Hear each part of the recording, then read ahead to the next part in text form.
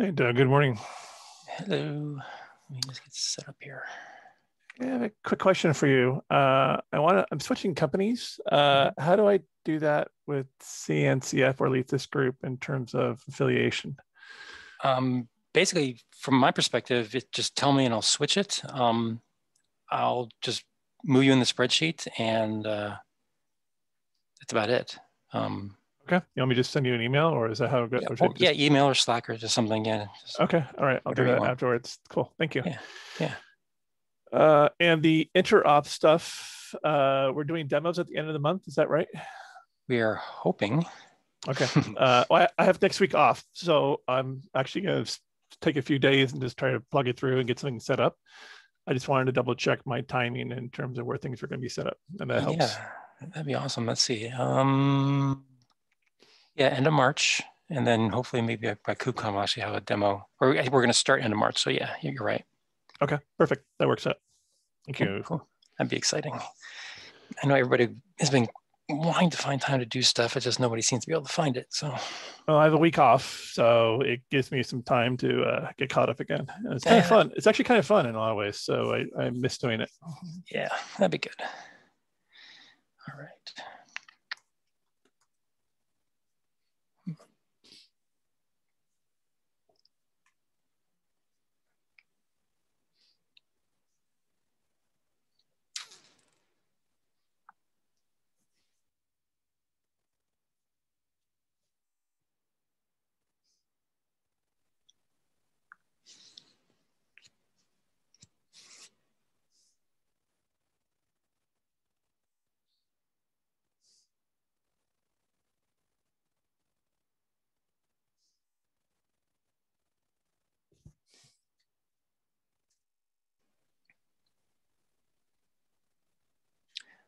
I'm, I apologize, David. I can't remember. Where do you work right now? I work for Splunk, And where are you going to? Are you, are you allowed to say? a company called SentinelOne, What do they do? I'm not sure I've heard of them. uh, uh, cybersecurity endpoint. Most of their Oh. work, most of their work is actually in serverless space, Oh, cool. uh, but they do endpoint security, mostly cloud focused, serverless. All their apps are serverless. So uh, when I go there, one of the things that um, I don't know, start for another week and a half or so, but one of the things that we'll end up doing is uh, trying to roll over into doing an integration with this project. Excellent. That sounds cool. I'm hoping so. Um, Yeah. I've never actually done it because I've worked for IBM since I came out of college, but I can imagine the the prospect of switching companies, it's like I can imagine it going both ways. It could be really, really exciting if you want to get the hell out of there, or it could be really, really scary. It's both. I've uh, been at several different companies, and uh, each place I've been at, um, the culture, how they operate things is completely different. And uh, uh, you experience both, uh, to be honest. Uh, some cases, it's like, wow, I love it. This is the best thing I've ever done. In other cases, it's you're like, what the, you know, what did I miss? You know, I don't want to see how I missed this beforehand. And it really depends. Um, so, you know, it's, uh, uh, and uh, IBM, that's a long time, by the way, which is That awesome. is a very long time, yes. I won't tell you exactly how many, but yes, it's been a while. Um, all right, let's see who's on. Uh, Eric, are you there? Eric? I think you're having trouble with your mic. Yo, Tommy? Yo. Yo. Uh, Lucas? Here. Hello. And Ginger? Sorry, couldn't get my mute button fast enough. I'm here. hey. Eric, is your mic fixed yet? It should be. Yeah, there we go. In case I decide to try to make you uh, speak up on the call. There you go.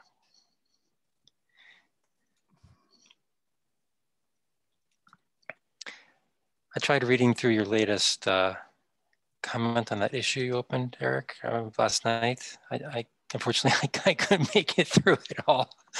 I, I had to save it for another day. That was a big comment. Well, uh, then maybe we don't have to talk about it today. Well, no, I, well, no, actually, I, I didn't add it to the agenda, but if you want me to, I can. You know. No, I think you are a wise man. Well, I was also really, really tired, and it was late at night, so don't don't don't read too much into that. All right. Uh, how are you there? Yep. All right. And hey, John, thanks for making it. My pleasure. All right.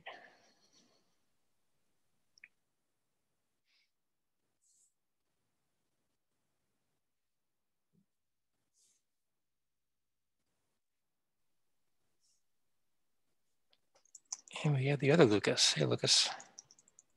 Hi.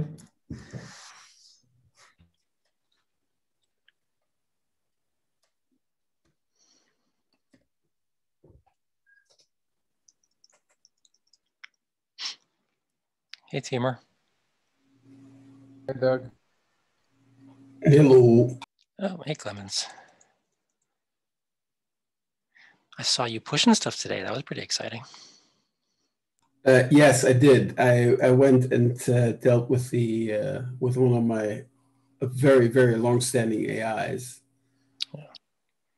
which means I haven't done anything on the newer AIs, but such is life. Yeah.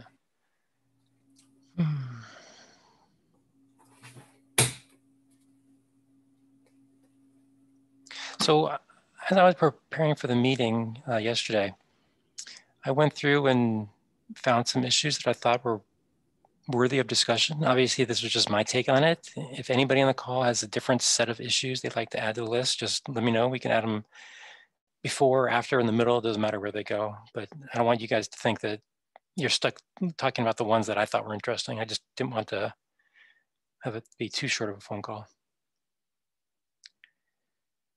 All right, let's see. Uh, Lance, you there?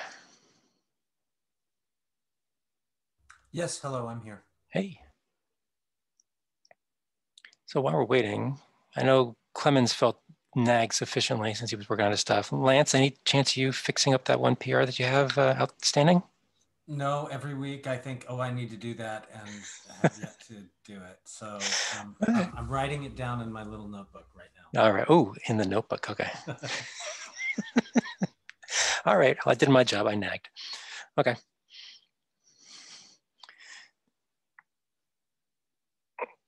Hey, Manuel. Hi. Hey. All right, just one more minute, then we'll get started. Somebody came flying in. Who was that? Oh, no, Daniel. Hello. Hello. Whoop, misspelled that. Come on, one more.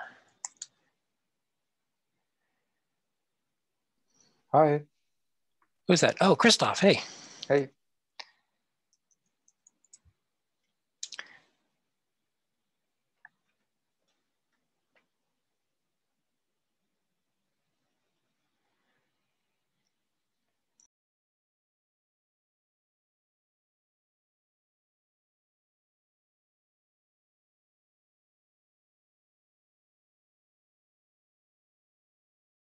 All right, three after. Don't we go ahead and get started?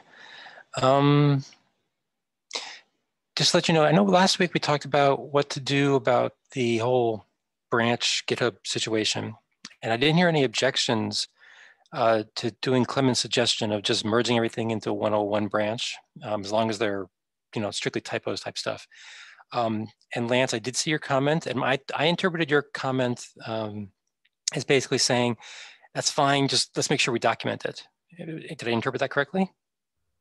Yeah, I think so. I mean, we just, I think there should just be some guidelines on what is minor and can just go in and what what isn't. Yeah. You know? Okay. Okay. Well, I took from that to, to give myself another AI to open up a PR to update our our process docket, whatever it is, to make sure we include that. And I'll try to include in there the definition of, you know, what's worthy of being merged into that versus forcing us to go to 102. Okay. And then you guys can review that. Um, but barring that, I will later today go ahead and merge uh, the PR that caused me to even think about this, which is strictly a typographical type change. Okay. Um, community time. Anything from the community people want to bring up? All right. In that case, uh, SDK call will be next week. This week we have interop call. I, um, I'll double check, but I don't think we have anything on the agenda. So I suspect it's more just a nagging reminder to everybody um, to work on their code. I guess we don't even have an agenda thing in here. but we will at least have like a one minute phone call after this one to see if there's anybody has any topics they'd like to bring up. So hang on for that if you're interested. And just, just a little reminder, uh, end of March is when we're planning on starting the interop and we are already in March. So the pressure's on all of us. Okay, now Timur offline reported he has nothing to report for the workflow stuff, so we can keep going, unless anybody has any questions on that. Okay, KubeCon EU. I got a note, I believe last week, asking what we want to do um, at KubeCon EU relative to office hours or booth or both. Does anybody have any opinion? I'm inclined to go more for office hours because I'm not sure we have people have the free time to, to hang out at a booth for extended periods of time, but I wanted to ask the group what you guys thought.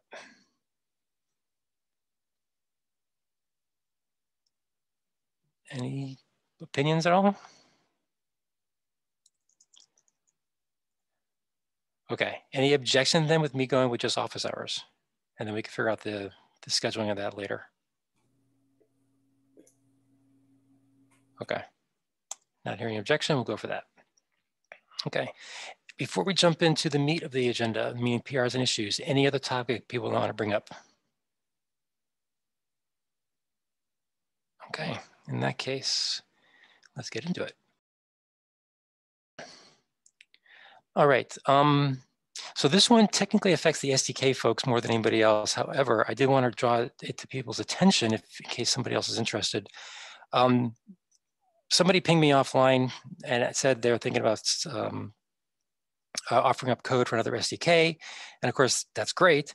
Um, but then I realized that we didn't really have anything in our governance doc to describe the process for adding new SDKs, because it seemed reasonable to me that if the SDK maintainers had the authority to vote on when to archive a project, when to get rid of it or make changes, they should actually have a say in adding new ones as opposed to just blindly accepting everything that comes comes our way.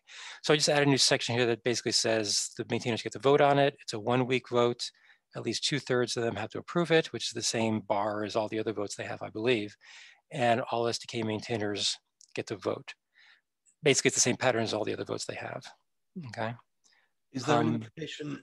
sorry, that the the list of initial maintainers on line 18 that they become new maintainers. I have to admit, this is something I should have read this document uh, a lot, being an SDK maintainer, um, but I haven't.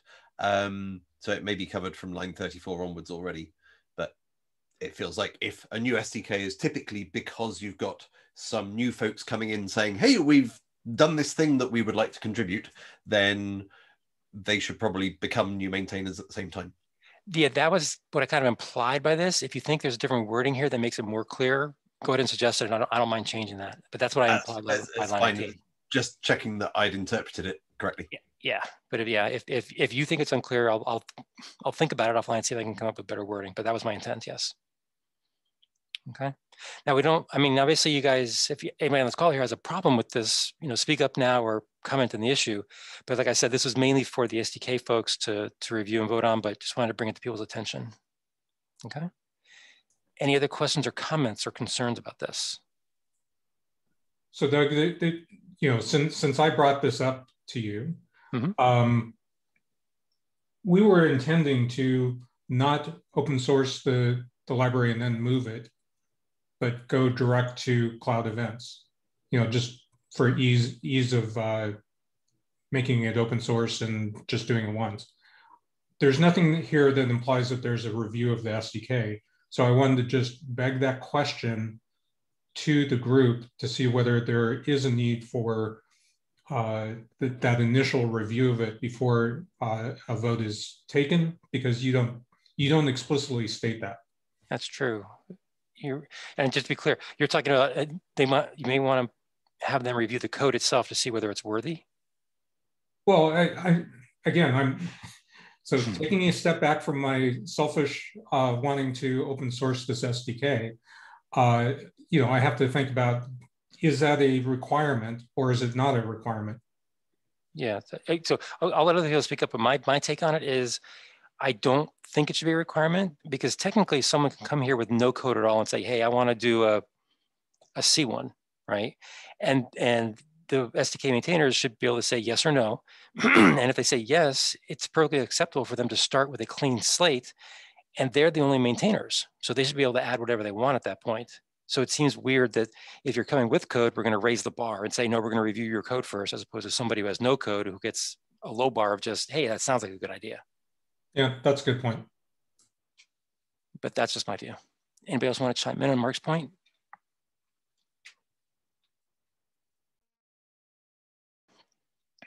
Okay. Um, in that case, obviously, like I said, just go and review it. If anybody has a chance, I believe the voting period for this will end. Do, do, do, closes on Monday, three three thirty Eastern. So uh, if you are a maintainer, please vote on this because we need at least two thirds of the people. Actually, no, I'm sorry. We don't need two thirds of the maintainers to vote, but we do need at least uh, hopefully more than just one person, which I think is Scott right now. So, okay. There, there, there are some questions in chat. Oh, here, here you go. Anybody in the SDK team want to try to answer those? I can speak, but I'm not an SDK maintainer or even developer, so I, my, my opinion doesn't matter.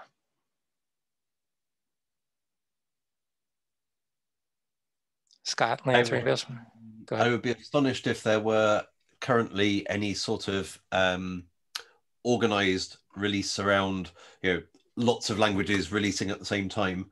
Um, until we've got something past 1.0, uh, it's going to be hard to know you know what would be in a 1.1 what would be in a 2.0 they're going to uh, that will affect how releases need to happen.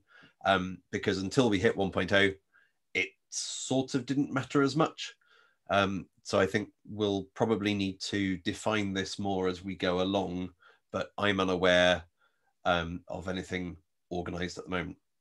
Yeah i think the answer to the first one is no we don't have it. Area sdk does their own thing and dealing with things being behind, it depends on how what the behind means, right? If they're just slow, we don't have anything to talk about that. If they're basically uh, appear to be dead, we do have a process in this SDK governance doc that talks about archiving projects or projects that become stale and, and shifting maintainers to someone else if someone wants to take it over, that kind of stuff. We do have some governance around that.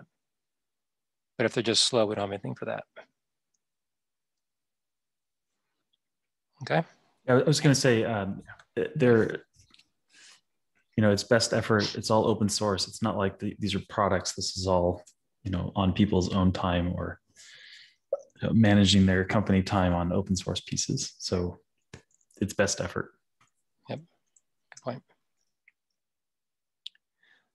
All right. Anything else about the SDK change? All right, moving forward. Slinky, are you on? No, he's not. I did notice that there's a whole bunch of activity going on there. And in fact, I know there was some discussions even today, so I suspect it's not ready to merge. Um, but without Slinky on, I can't know for sure. But does anybody have any comments or questions on here? Because um, I think if by next Thursday, if the amount of changes that have gone in have had slowed down to a very slow trickle or even stopped, I'm inclined to merge it and, and say that's the first rough draft, and then we can iterate on it going forward. Does anybody see any concern with that as a high level plan? That seems reasonable. Okay, thank you, Clemens. Since, since nothing is final, since nothing, nothing is final until we declare a version. Exactly. Um, I think it's okay. Yeah, my, my bar on this kind of thing is, is it more right than wrong? So yeah. And this is just an extension, uh, tech, well, technically an extension, an optional thing, yeah. Anybody else want to chime in? Okay, in that case, doo -doo -doo, let's move on then. All right, into the issues. I don't remember what this one was. Oh, yes. Um, who was this? Cedric. So here, I'll let you I'll let you read the question.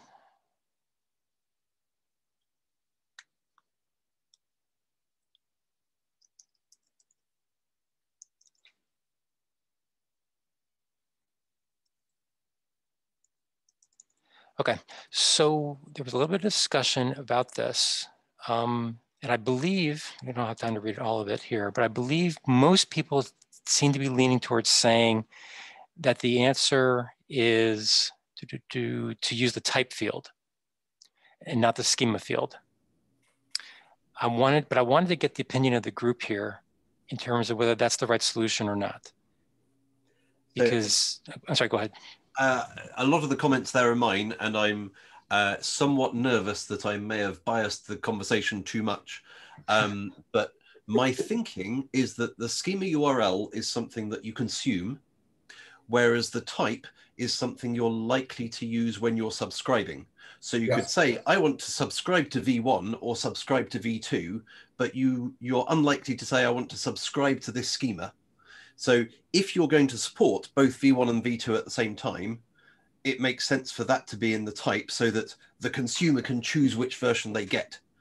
Um, whereas if you're just um, forcing everyone to keep up with you, then maybe schema URL makes more sense. Does that chime with how other people think about things? I, th I think that's actually very much aligned with that comment I made at the bottom there, right? Let me see if I can find, because I think I said something similar where I said, you know, basically if you want to support V1 and V2, then I agree with you. You, the person should choose which type they want to get. But that's not to say you couldn't always keep a static type and change your schema because at that because you're going to force everybody to change over at that exact moment in time. You're not supporting multiple versions. Yeah. I think from a from semantics versioning uh, um, model, I think if you have a breaking change in the data, then then you need to have a way to um, distinguish that at the subscription at the subscription level. Um, if you but if you're just evolving like if you if you're starting to add more and more information to um, the to the payload without breaking the semantics of the of, of what you're delivering then um, then sticking then sticking with the existing uh, um, uh, version of the of the event type may, may make sense. So i think if you really have a a new if you have really have a new payload where you just make changes, then then indicating and, and then indicating knowledge about wanting that new payload with the with the the the the type the type that will make sense. So I think it's both. Yeah. I guess the real question for me is, and it, this is good. It sounds like we're all kind of heading in the same general direction the question is, does anybody think we need to provide guidance in the primer? Mm. Or do you think it's obvious that we don't need to do it? And this question, and, and, and Cedric was is just more of a one-off question kind of a thing. I personally, I would say guidance would be useful. If we provide guidance, we're likely to get roughly consistent behavior across many providers. If we don't, I suspect it will be like REST URLs and things where there are as many different versioning schemes as there are um, providers. Right. Yeah. I, I, guidance is never guidance never hurts. Um, well, and it's not normative, and so therefore everybody has can have their own their own um, variations of it. But giving sending sending those people into into a direction who have no concept of what they should do here um, that that certainly makes sense yeah okay I, I agree i just want to make sure i wasn't alone in that so then in the spirit of no good deed goes unpunished john i'm wondering since you did speak up on this one a lot would you be willing to take a pass at trying to create a pr for the primer um, i will i will take an action item to try to do it um, like probably everyone else on this call, I have many, many things on, but um, not least I've got ECMA C sharp stuff. You know, standardization's fun. Um, I will see what I can do. Yeah. Thank you very much. I appreciate that. Okay, hold on a second. Um, I'm doing, taking some notes here.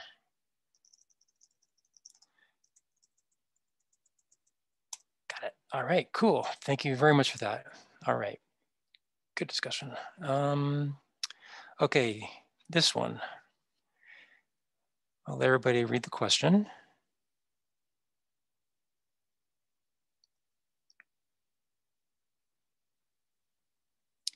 And there were two comments here.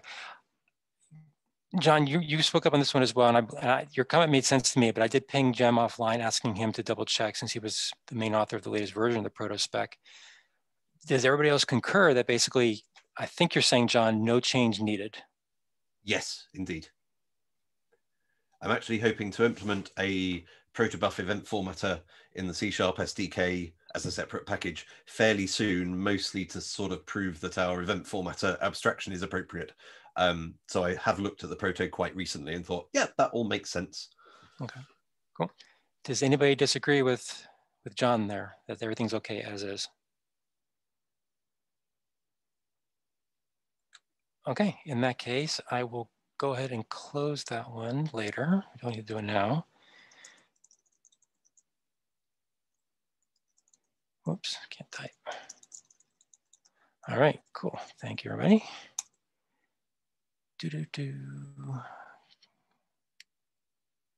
All right, John, would you like to introduce this one? You've been busy.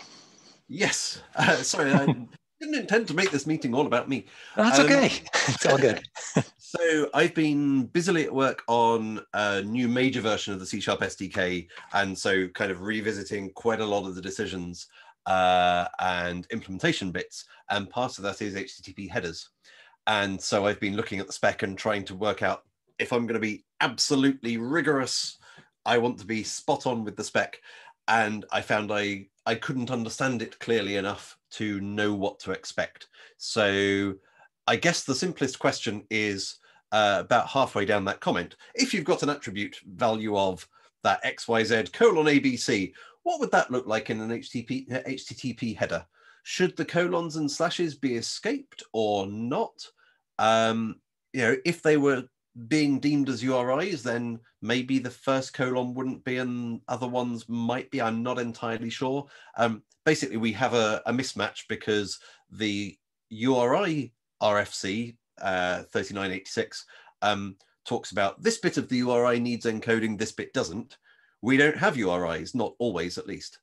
Um, so we need to work out, I, I would love it if we could work out something that would be backwardly compatible, and that's going to be hard, um, but also really, really clear with good conformance tests saying if you have an attribute value of X, it should end up in an encoded form of Y. And I'm okay for that to sort of then leave RFC 7230, um, which I also find hard to understand, but that's that's RFC's problem, not um, not ours. Um, so that everyone can hopefully do the same thing, encode the same way, decode the same way. Is yeah. Does anybody have any questions about the about the issue that he's raising first? Yeah. So what are the what are the, the so attribute values?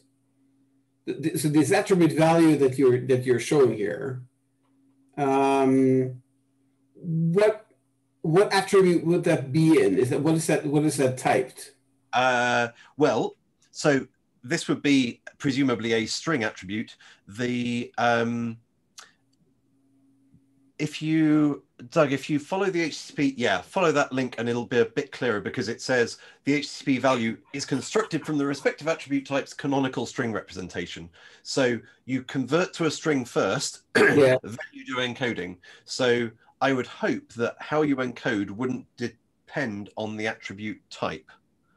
Um, but a, a URI is so we have a URI type uh, or yeah. URI reference type, and I think I think we use that specifically for cases where we knew that there would be there would be a URI there, and that it needs to needs to have URI treatment.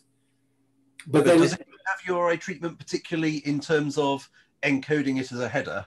If we have, if we can find some something that says, I will take arbitrary string that isn't a control, doesn't have control characters, bad surrogate pairs, etc., um, and encode this appropriately as a header in a way that's reversible, and ideally doesn't make URIs look completely weird. You know, doesn't start encoding slashes and colons. Um, mm-hmm. Then we don't need to give special well if you're encoding an, H, uh, uh an http header and the original attribute was a string then you do x if it used to be a uri then you do y and you know it would be particularly weird suppose you had um, is subject a string i think it is um, if you mm-hmm. had two uh, suppose someone decided to make the source and subject the same string. So one is a URI, one is just a string. If those came out differently in headers, I would personally think that would be a bit odd. Okay. I was just checking to see which things are strings. I think type is probably the most common string aside from ID. So let's focus on type since type can basically be anything you want. Yeah. And of course, extension attributes come here as well. Yes. Um,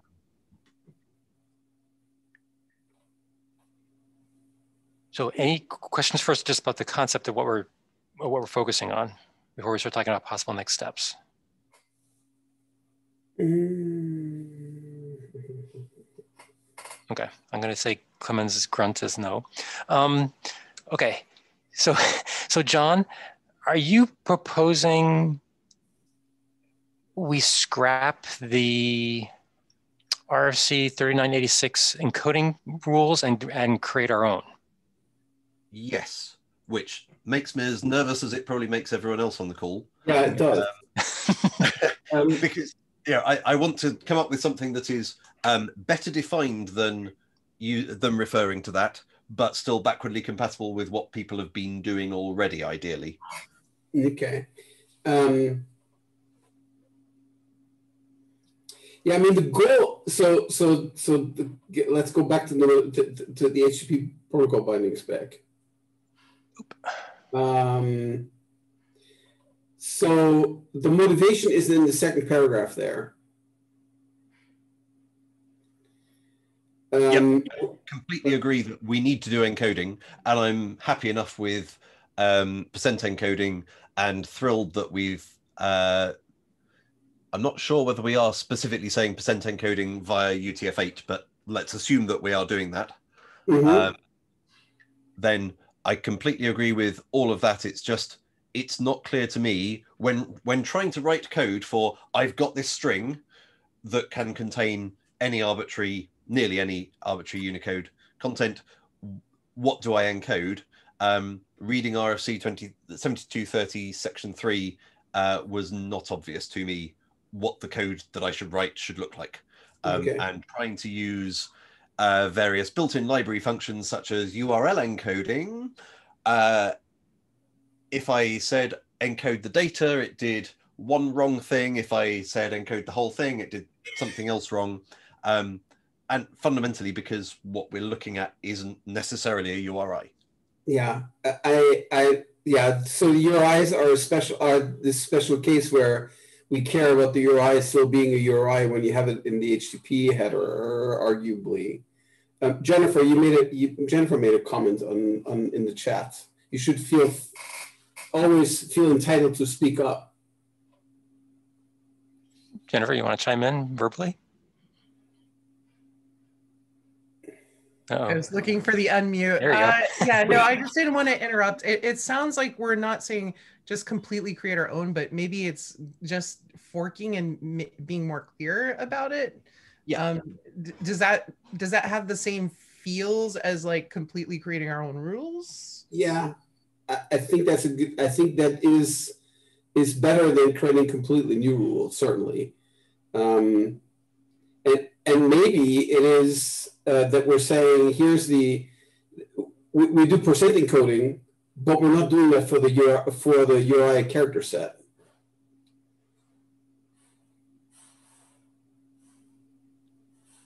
So yes, uh, well, wait, wait, wait, wait. Is it URI character set or is it the printable US ASCII character set? Yes, and maybe maybe maybe that.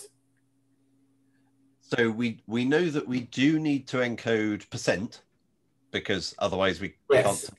Yeah.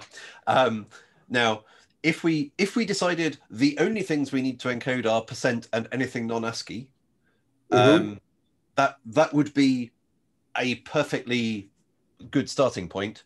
Um, I wonder whether how that fits in with existing implementations. Um, if if things are expecting other characters to be encoded, and this was where my ignorance uh, meant that I wasn't proposing anything specific. Um, so that doesn't sound like it. So what you just said sounds a reasonable, and b doesn't sound like an earth-shaking new invention. Um, so I'm wondering whether anybody has somewhere already um, invented that before. Um, and, and, it might be interesting interesting to go and hunt around in the in, in the relevant related RFCs or whether there is a where there's a coding like that. Well, regardless of that, I, I'm, I'm, I'm more interested in John's other comment about current implementations and whether if we change something, it's going to break something. So let me ask some of the SDK folks on the call. Did any of you guys even notice this paragraph? Who does any encoding at all? Or was John just being incredibly anal? It's, it was when I was fixing things and trying to get them working that, that it came. We do have tests for um, non-ASCII characters in attributes. Um, and it was when I started uh, encoding everything with some URL encoding, at which point those tests still passed, but the test that expected URIs to stay uh, unchanged failed. So, okay, wait a minute. I want to focus on Slinky and Scott's comment in the chat because they're saying that things like the Go library automatically handles this. Can you guys elaborate on what you mean by it just works or it, or it handles it? Does that mean it does encoding or it just doesn't seem to be bothered by non-ASCII characters. We don't care. I mean, it just works. And uh, when you receive it on the other side, you see the same thing that you sent. So the library does it transparently. But do you know what the library does with non-printable characters? I honestly don't. well, I, I, I, I, uh, I, I don't know the internals of Golang library, but I mean, at least uh, with all the SDKs I worked with, I never found such problem because the library handles transparently all of this. And like even in Rust, uh, strings are uh, TF8 by the by default. And I guess this is all already uh, encoded as it should by, uh, by default would, would somebody be willing to check and test out a couple of the SDKs to see what they do if you if you try to give it a non-printable character and see what it does? I mean, does it reject it? Does it skip it? Does it encode it? It would also be just to add a, a second level of burden because it's not just uh, that sort of thing, but typically um, if a header has multiple values, they are comma separated, which means that um, if you want to have a single value that contains a comma, you need to put double quotes around it and, and stuff. So uh, that's where I think a conformance test of you know, this is the uh, how does a value of space x space get written on the wire and does it get correctly decoded? What if you have a comma in there, etc., as well as um, Unicode? Yeah, just so you know, I just did a quick test with just for fun, just curl and I gave it a header with a value of comma, comma, comma, it just passes it through. Now that just could mean that curl is just too low level and it's not even going to try to encode it. It's going to give you, it's going to take whatever you want, but at least from a curl perspective, it doesn't touch it. Yes, I suspect that it expects that you meant multiple values. Yeah. Um, just so. another, just another data point. Uh, I, I, uh, for for the Ruby SDK, we actually did have to um, uh, implement this uh, explicitly. And I do remember going through the process of puzzling out uh, what what this these paragraphs mean, uh, and this and going through several iterations of, of not understanding that before. Uh, and I think it's I think it's quote unquote correct or at least reasonable now. Um, but it's been a little while since I've I remember it being confusing. So so what did you do did, with with things like colon? So yes, we. Uh, I I believe I'm I'm looking at my code right now. Uh, uh, I believe it was uh, uh, percent and printable ASCII, uh, or, or yeah, uh, passing yeah, per, per, passing through uh, printable ASCII uh, that's not percent and percent encoding the rest. So you did convert up. You did encode the. Uh the, the, the colon. Yes. Uh, what colon? Uh, I, I'm. Uh, what, what's the ASCII code for colon? I don't know. The only reason I'm asking about that one is because, well, I take comma instead. I, am not sure what the ASCII code is for that either. Uh, but oh, comma is more interesting. Whole other differences because of the whole multiple uh, multiple values thing. uh, I, um, um, I, I'm not. Uh, I don't think we're. I don't think we're handling colon or commas any differently from any other. Uh, right. uh, I think it's also entirely feasible that um, HTTP libraries may may uh, handle commas and quoted strings and things uh, for us, but I don't think they will handle the percent encoding because, as far as I'm aware, that's not part of HTTP. Yeah. So comma, I think, is 44 decimal. If that helps you, uh, Dave, um, Daniel. Okay, so so I'm curious about next steps here. Um, it sounds like we have at least one SDK that actually did try to follow these rules. Um, I, I so I'd, I'd, be curious to know what the other ones do. However, I I think it also may be worthwhile to get a proposal for what this I guess is what Jennifer said is you know forking and and clarifying a proposal would look like, right?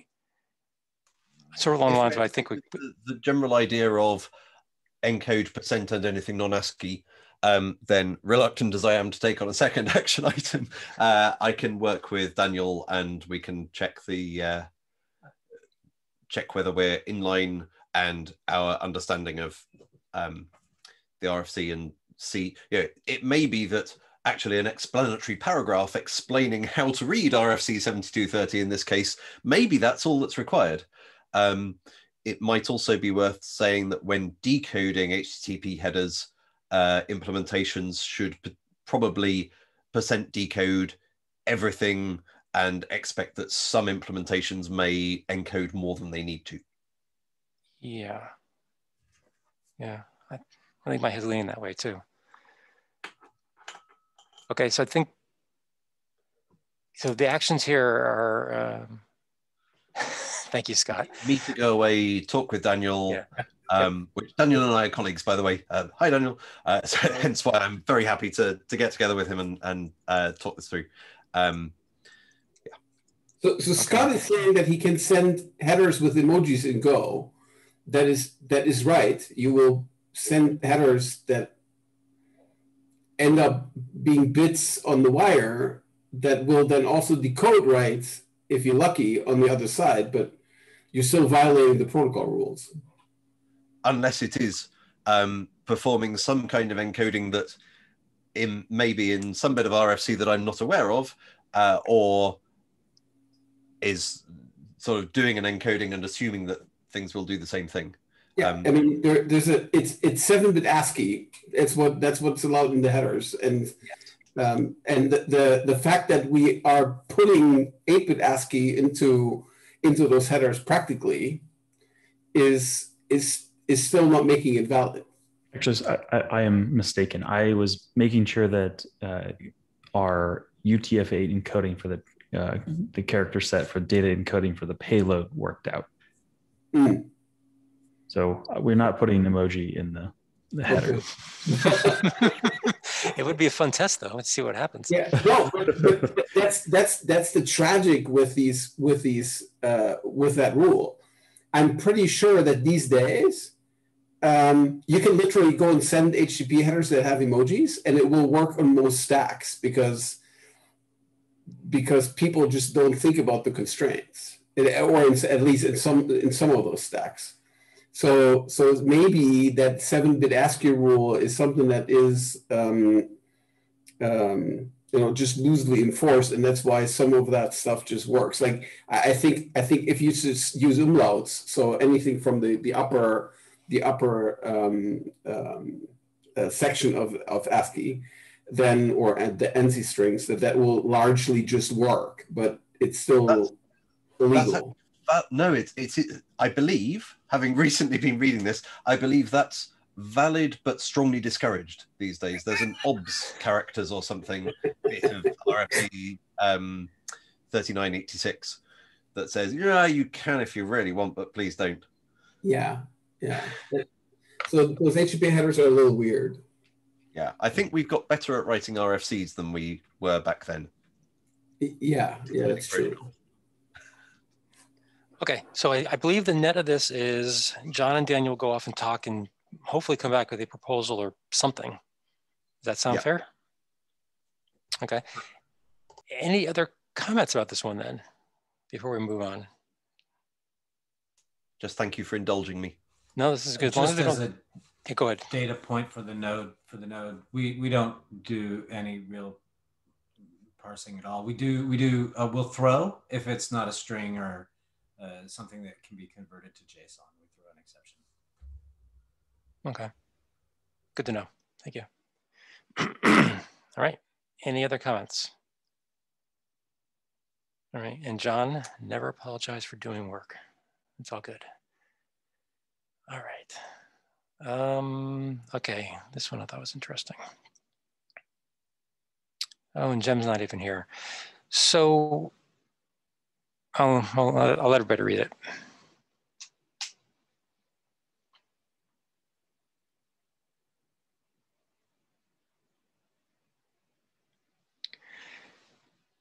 So this one and this one, I think, are related. That's why I put them both in the agenda. What should a client do if an entry vanishes from the discovery get response? Okay. And obviously, Jem's question is broader than that. Um, but I, I think the question I had for the group here is, do we want to go beyond saying what happens when something vanishes, but I'm going to, which I actually propose that we interpret a vanish from a get, meaning it's been deleted. So there is no notion of deprecation or anything like that. Um, or do we want to go as far as what Jem is proposing, which is actually have real life cycle type values associated with the things? So is it Boolean or multi-steps in terms of removing stuff? I guess is the question. And I wanted to open that up for discussion.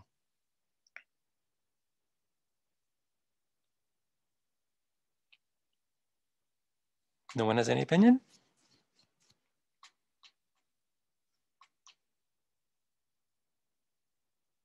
Okay, I'll put one out there.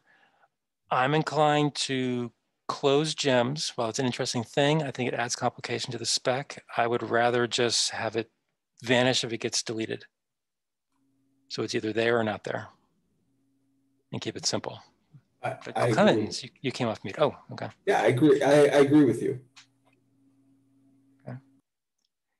And to elaborate a little more, I think part of the reason I think that is because I think the minute you start getting into this stuff, you're going to get into really complicated things like, okay, well, how long does it have to be retired for or deprecated for? And then you have to have timestamps and all this other stuff. And it just, it just seems like it's more trouble than it's worth. And I think actually you could also add this stuff later because I think until something actually vanishes, the fact that it may have a a state or something like that that we add later on still implies that it's there. So you could technically use it. It's just it's just not recommended. I think is the way I, I would interpret it. So it's I don't think it'd be backwards compatible to add some sort of deprecation state later if we wanted to. But anyway, Klaus, your hands up. Yeah, actually, I agree too.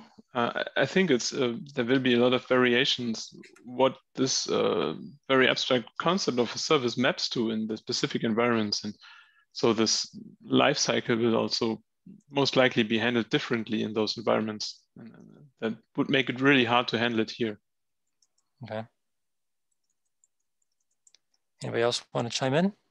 So I this may be totally weird to think about, but I what if it doesn't what if it's an accident that it doesn't exist? So what if you do a, a follow-up get and then it is there so what what is that handled separately i kind of like that there's a state of the service so it, there's an explicit sort of this is going away versus it's it's like it just disappeared The, your, your first question is interesting to me because I think that might fall into the same category as well. What happens if someone fat fingered, you know, a URL or one of the other values, and it, maybe an hour later they realized it, and so they changed it back.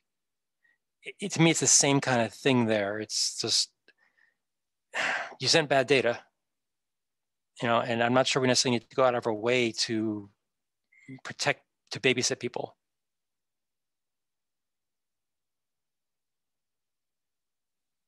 Right. So if someone accidentally deletes a service and then oh realize they made a mistake and resurrects it an hour later, they may have hurt their clients, but that's what they did, right? They they changed the data. I don't know. I mean, Jennifer, is that is that too simplistic? Um, I don't know. I, I that might that might that might be sufficient to say it but i i feel like i there's always these cases that are like on the edges of like well it's not supposed to do that um, and so then i try to think of like well it's less about protecting us from making mistakes but more like uh, being explicit about how things should work in the case of uh, uh, uncertainty um, and so I mean, I mean, maybe it doesn't matter. So maybe it, I don't know. Like I, I, I just I think of it from a um, QA perspective as well, from like just like weird shit happening, and it's just explicit. So I like the idea of, of, of there's a life cycle of a, of a service explicitly. So let's let's poke on that a little. How far would you want to take this? Meaning, do you are you proposing that people are not allowed to just make it vanish and delete it immediately? Are they therefore required to go through a deprecation stage? Yeah, I think that's that that's the that that you're right. That is kind of what it, I'm saying. I think yeah. that's a good way to put it. it what other people like? A little bit like, uh, do you just delete a page from the internet, or do you put a redirect in place? to say, oh, well, I know where you meant to go. I'm going to be helpful. Um, we don't necessarily need to require stuff um, in order to say it would be a nice idea and to provide some part of the protocol to be able to say, please don't come here again, or it's gone over there, or whatever. Clemens, did you want to say something? You came off mute. Um, yeah, that was not a completely formed thought when I was unmuted, so um, I'll I'll shut up. okay, so, so, Jennifer, it's interesting. I, I I'm Oh, just obviously just just my two cents, but I'm I'm less inclined to force a deprecated state or to enforce a state system, but I I can be sold on the idea of including an optional attribute that, that has something semantics along the lines of, by the way, this is going to be removed at this date and people can optionally set it if they want to give a warning to people.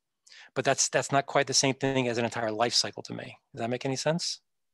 I I like I have been convinced now having heard John's uh, sort of way of uh, thinking of it of like oh yeah like we could make it an optional thing um, and then it's more of something that you could we could have a recommended practice and then it makes it more like people can be more explicit or not. So i i feel like that's where i'm at right now in, in terms of thinking about it elaborate optional sounds great. yeah but elaborate a little when you say optional what's optional? The entire life cycle or just one attribute that says something? What what are the, the semantics of this Like an optional state, like if you have the ability to have this optional state where you can add sort of the context that then people, you can, for your own service that you're defining, you are able to set that and be explicit about it. Um, and if we have some way, uh, like I, I keep thinking of like, here's the spec and then here's the implementation and like, or sample implementation um, and recommendation, that that feels like it's a space where people can um, leverage different styles. Just like not every, some people just delete pages instead of providing redirects. That's why I really like John's way of uh, speaking about it. Okay. oh, I'm so sorry, John. he was shocked that you actually listened to him. Um, okay, anybody else want to chime in? Okay, and not to pick on John. Oh, John Mitchell, go ahead. Yeah, so I guess uh, um, with all uh, worries about uh, sucking up to Doug, I actually like where you were headed with your comment, Doug. The, the fact that it's uh, you can add extra information into some kind of attribute to give people a heads up that they can look at. Because the, the the the problem with making this too explicit is the the the failure modes around things vanishing whether it's a, you know a transient fluttering of the service coming up and down for whatever reasons like the fat finger examples or whatever they like all of those are still going to happen even if you somehow mandate an explicit life cycle right? So the, the code paths for people who actually care about the higher quality of service implementations giving them a heads up and managing you know deprecation periods and all those cool things like and, and trying to make that completely um, um, discoverable automatically rather than out of band human things you still have to deal with those cases where yeah, it just goes away right so the extra complexity in band doesn't actually buy much in terms of in practice reality dealing with failure modes, or at least all of the failure modes. Hmm. Does that make sense? Jennifer, any reaction to that? It is the is the culture of not responding uh verbally is that is that okay to be like oh that's interesting is that no that's fine, that's fine. I just want to give you an opportunity to respond if you had any feedback or wanted to get into a dialogue about it that's it I, I appreciate it. Um, it, there's a lot to think about here. Thank okay. you. Yeah, okay. I, I, I mean, I, I, I'll, I'll tell you my personal bias when I design protocols like this is like I, it, it's all about failure modes to me and life cycles. Like, so all of my systems are basically you know some form of finite state machines and those kinds of things so i totally i totally agree with the the the, the intent that you're talking about is just in practice if if the if the hardest failure modes are the ones where it's uh, it's fluttering and, and transient like i can give all sorts of great examples at you know lower network levels where where literally people take weeks to try and discover some of these problems because they, they didn't make their system resilient enough. So I agree. I, it just doesn't, if the states don't cover it anyway, there's not much for us to do. Okay. So tell you what, let me do this. Um, so I'm not sensing a, a, a, broad consensus yet. And as Jennifer said, she wants to think about it. I think other people need to think about it as well. So there's no decision on here. We'll save this again for next week and maybe we, people will do some more thinking about it. Um, but we did have some interesting options mentioned. So let's just hold off on, on making a decision on either this one or the next one, because I think um, they're both very much related. Um, so let's hold off on that, but think about it during the week. Um, and Jennifer, I, I, just so you know, I just get so excited when people speak up because a lot of times people in the group get very quiet on these calls. So I just get excited that somebody chooses to speak up. So you did, and I jumped on it. So I'm gonna, I encourage it. So I didn't mind to pick on you. Um, no, okay. no, no. I did not. I did not perceive it as picking at all. I was just like, I was like, oh, okay. I'm thinking. Uh, but I do want to say, like, um, I'm relatively new to this particular community of folks. Uh, I didn't realize it existed until recently, and I just want to say it. Like, it's so fabulous. I love. Um, I've been here, I guess, like three weeks or something, and like the the style of how you y'all run the meeting and um, it's so collaborative. Uh, I really think it's great. So thank you. Yeah, we we got some good folks here, so it's, it's all been good. All right. In that case, anything else on these two topics? As I said, um, thank you, Scott. I, I, even if we come up with a different system, Scott, I'm going to keep doing roll call just to annoy the crap out of you. Um, okay. So anything else on these two topics before we move forward? Okay. Does, oh, Slinky, since you're on the call now, was there anything you wanted to mention about the SQL query expression? Since you weren't here, we, we didn't really talk much about it other than to say that Um, I noticed there was some activity today going on, so I thought it might be premature to try to merge it, but that I'm hoping by next week we might be able to merge it because the amount of traffic will have slowed down and that it's a it's probably good enough as a first rough draft to go in. But I want to give you an opportunity to speak to it if you wanted to. No, I'm fine with it. Uh, there, there is some comment from uh, Lionel that I want to fix, um, but that's it. Okay. Yeah, people please resolve conversations. so I know what else I need to do. Okay. Uh, okay, hold on a minute. I might realize I jumped the gun on these notes. Okay, cool. All right. Are there any other um, of these PRs that we need to talk about? Slinky, you may have been doing some changes, or maybe, I'm sorry, that was Clemens. I think Clemens made some changes recently today. Obviously, it's too soon to merge, uh, but please people take a look at that when you get a chance, because I think they're, they're gonna make some changes recently. All right, any other topics people wanna bring up? All right, in that case, in the five minutes that remaining, we'll do Scott's favorite thing. Clemens already talked. Um, Matt, are you there? Yep. All right, and Vlad? I am here. Hey, Doug. Hey, hey, Vlad. And Grant? Yeah, I'm here. All right, cool. All right, did I miss anybody for a roll call? I think I got everybody. All right, in that case, we are done. Um, actually, before we go, does anybody have any topic for the Discovery interop call? Otherwise, we'll just say we're done for the day completely.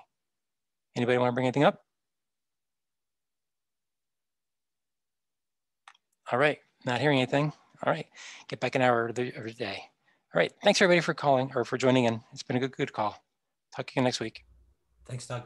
Okay, thanks. Bye, everybody. Cheers. All the best.